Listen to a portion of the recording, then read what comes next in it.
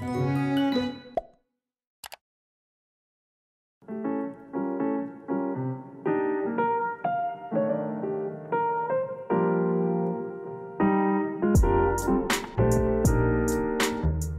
ดีค่ะ ทุกคนวันนี้ก็กลับมาพบกับนุ่นที่ช่องนุ่นนี่กันอีกแล้วนะคะ คลิปนี้เราก็จะมาเปลี่ยนสีผมให้ทุกคนชมกันค่ะ จะเป็นสีนี้เลยค่ะ เป็นสีแดงอมม่วงนะคะ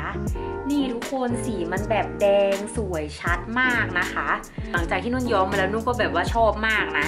วันนี้เราก็เลยจะมาให้ทุกคนดูนะคะ ว่าใช้สีผมของอะไรแล้วก็มีขั้นตอนวิธีทำยังไงบ้างค่ะ ไปดูพร้อมกันเลยค่ะ ดี๋ยวเรามาดูสภาพผมก่อนย้อมกันนะคะ ทุกคน สีเดิมจะเป็นสีแบบน้ำตาล แบบประกายทองทองๆแบบนี้นะคะ แล้วก็ปลายจะค่อนข้างแห้งเลย เพราะว่าอันนี้นุ่นยืดผมมาด้วยนะคะ การย้อมครั้งนี้จะเป็นการย้อมครั้งแรกเนาะหลังจากที่เราไปยืดผมมานะคะด้านบนโคนก็งอกขึ้นมาแล้วนะคะ ประมาณนี้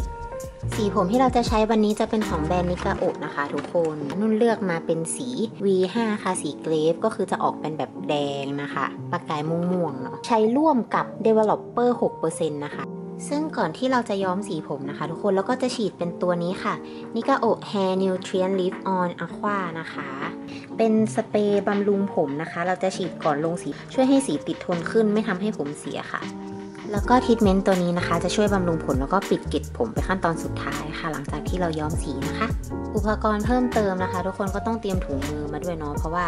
เขาไม่ได้มีถุงมือให้ในกล่องนะคะ แล้วก็ถ้วยสำหรับผสมสีค่ะ เดี๋ยวเราก็จะฉีดตัวลิปออนอะค่ะตัวนี้ทั่วหัวก่อนนะคะ เพื่อเป็นการป้องกันเส้นผมตัวนี้เราไม่ต้องล้างออกนะคะ ทุกคนหลังจากที่เราฉีดไปแล้วก็สามารถลงสีผมต่อได้เลยต่อไปเราก็จะมา กันนะคะ เนื้อครีมเขาแบบเนียนนุ่มมากเลยนุ่นจะผสม1เซตก่อนนะคะ เพราะว่าสีผมของนิกาโอเนี่ยเขาให้มาเยอะมากเลย ตัวสีนี่ให้มาตั้ง 100 ml ตัว developer นี่ให้มา 150 เลยนะ ปกติอย่างที่เราย้อมแบบกล่องๆนะคะ มันจะให้มาแบบประมาณแบบ40 80 อะไรอย่างนี้นะ อันนี้ถือว่าให้สีมาเยอะมาก ก็คิดว่าผมสั้นประบ่าน่าจะเซตเดียวน่าจะพอนะคะ แต่ว่าถ้าไม่พอเดี๋ยวเราผสมเพิ่มไปก็จะเทเป็นตัว developer นะคะลงไป สีย้อมผมเขาแบบไม่มีแอมโมเนียนะคะ มันก็เลยจะไม่ฉุนนะทุกคน นี่ก็คือดมแบบนี้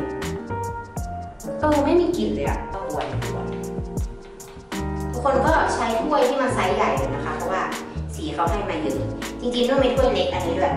แต่อย่างเงี้ยมันใส่ไม่พอนะคะในหนึ่งเซตต้องใช้แบบถ้วยใหญ่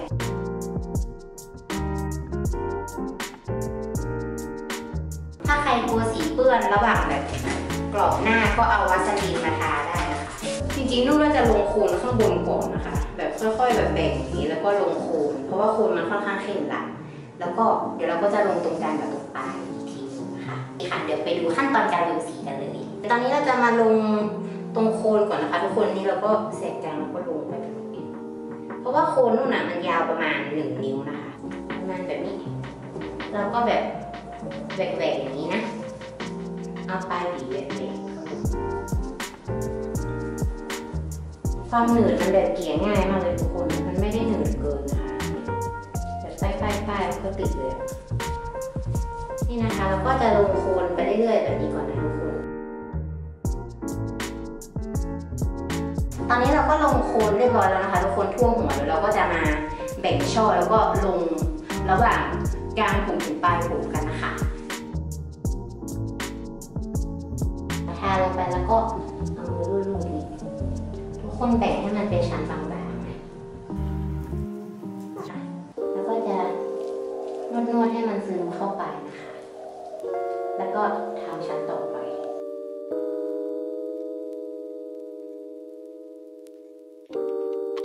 ตอนนี้เราก็ทาทั่วหัวเรียบร้อยแล้วนะคะทุกคน ก็คือสรุปว่าเซตเดียวพอนะ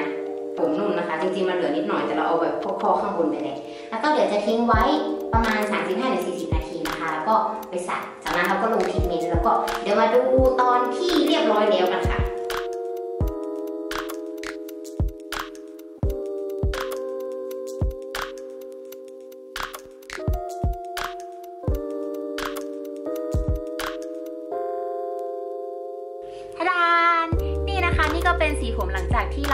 ไดผมเรียบร้อยแล้วก็นุ่นมีแบบหนีบมุ้งปลายนิดนึงนะคะทุกคน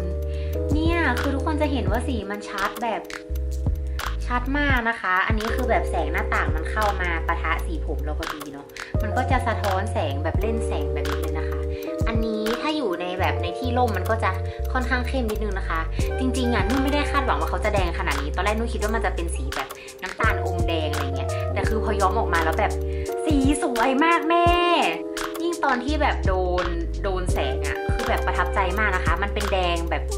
ที่เป็นแดงอะ่ะเป็นแดงที่มันอมม่วงมันไม่ได้ติดไปทางแบบแดงส้มอะไรอย่างนี้นะคะ ก็เลยรู้สึกว่าเฮ้ยสีนี้มันสวยแล้วมันทำให้หน้าเราดูไม่ซีดนะคะ ทุกคน แต่ที่เราลองใช้สีของนิกาโอนะคะ ก็คืออย่างที่เขาเคลมไว้นะคะ ว่าไม่มีแอมโมเนียเพราะฉะนั้นมันจะไม่มีกลิ่นเลยทุกคน ตอนย้อมก็คือแบบเราไม่ต้องแบบฉุนจมูกอะไรเลยนะอันนี้ก็คือเป็นสีที่นุ่นชอบนะคะ ระหว่างที่ยอมก็คือชิลมากเลยนะคะ ทุกคนแล้วก็แบบทาไปได้เลย แต่ว่าช่วงที่รออะประมาณแบบ 25-30 นาทีค่ะ มันจะเริ่มแบบยิบยิบที่หัวนิดนึงนะ อันนี้คือเป็นความรู้สึกส่วนตัวของนุ่นนะ แต่มันไม่ถึงขั้นแบบว่าแสบนะคะ แต่ว่ามันจะแบบยิบยิบหน่อยนึงอะไรเงี้ยช่วงหลังๆนะคะที่เราทิ้งไว้ ในระหว่างที่เรารอให้สีเขาแบบ ซตตัวอยู่บนหัวนะคะ แล้วก็อีกอย่างหนึ่งที่ชอบก็คือตัวเนื้อครีมเขาอะค่ะ มันมีความหนืดที่แบบทาง่ายลงบนเส้นผมนะคะ แบบไม่ได้เหนียวเกินไปแล้วก็ไม่ได้เหลวเกินไปอย่างเงี้ยตอนที่เราปาดลงบนผมอะมันทำให้เราแบบควบคุมปริมาณ แล้วก็ทิศทางการปาดได้ง่ายนะคะ อันดับสามที่ชอบก็คือสีตรงปกมากนะทุกคน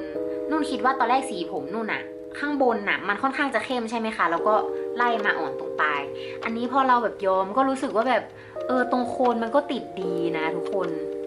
นี่ ตรงนี้คือแบบติดชัดมากตรงกรอบผม ดูตรงกรอบผมก็คือแบบโหสีแบบอมแดงมากนะคะ อันนี้ก็เป็นแบบข้างในนะ ข้างในก็จะเป็นสีประมาณนี้นะคะ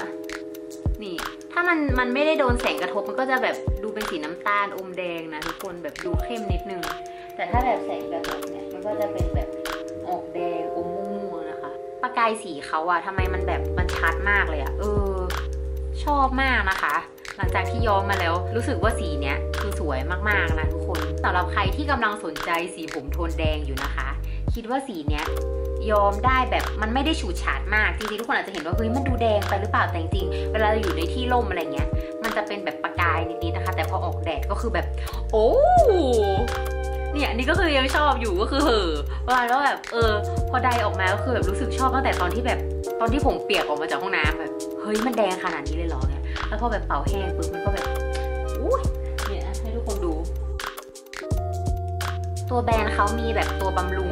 ก่อนทำสีผมแล้วก็มีแบบทรีทเมนต์นะคะทรีทเมนต์เขาก็ใช้ดีนะเมื่อกี้ลองใช้หอมมากนะคะทำให้ผมเรานุ่มด้วยนี่ทุกคนจะเห็นว่า before ผมมันจะแห้งๆแตกๆอันนี้คือแบบ ขึ้นเลยนะมันรู้สึกว่าผมมันแบบชุ่มชื้นขึ้นนะคะ